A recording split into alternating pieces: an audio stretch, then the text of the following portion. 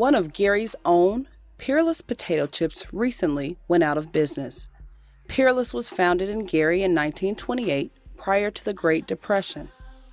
Its struggle began when Central Grocers, its main distributor, filed for bankruptcy.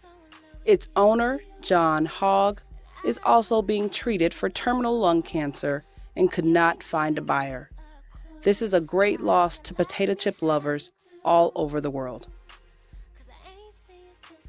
Time I can't seem to forget you.